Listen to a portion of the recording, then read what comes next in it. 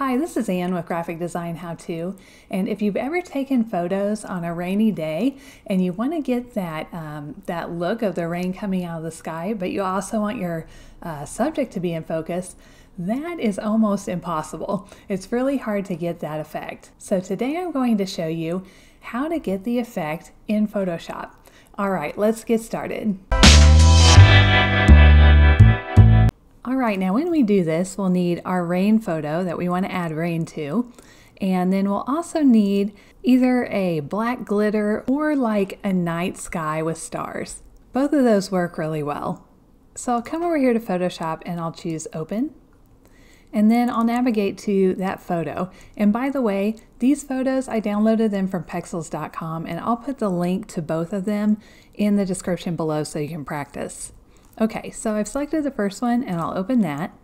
I'll place the other image into this image. So I'll go to File, Place Embedded, and then I'm going to choose that other image of the glitter and I'll hit Place.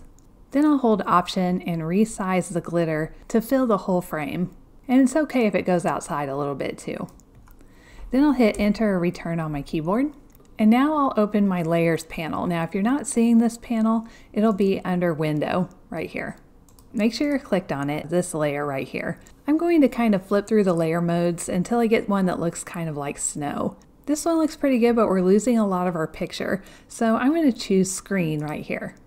Because there's a lot of gray in our glitter picture, we're going to need to increase our contrast. So to do that, I'll open levels with Command L or Control L. I'm going to pull the middle slider all the way over to the right.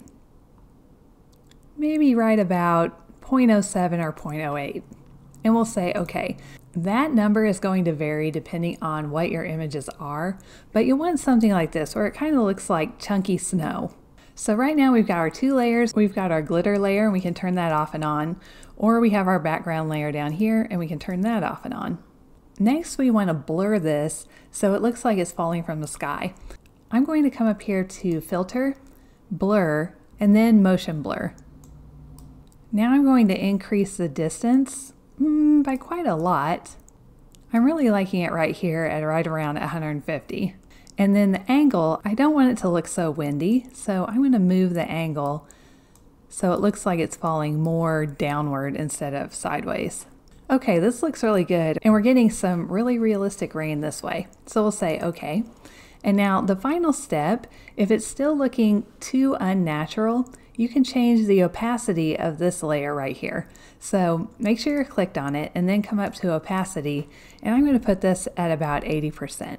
And this is perfect. So at this point, I'll want to save two files. I'll save my Photoshop file by going to File, Save As. I'll call this one Rain, and I want this to be the Photoshop file with the layers. And I'll say Save, and then OK.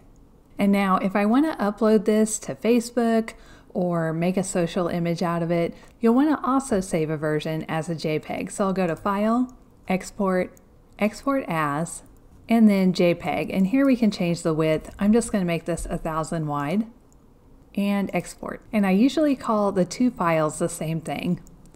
So we'll go ahead and save that. And now you have both files, one for use online and then one where you can make changes easily with your smart layers, your motion blur, and your levels still intact. Saving as a JPEG gets rid of all that. And that's it, it's that easy. Alright, if you like this video and you want to see more videos like this, just hit the subscribe button and the little bell next to it and you'll be notified every time a new video comes out. Alright, I'll see you in the next video. Thank you!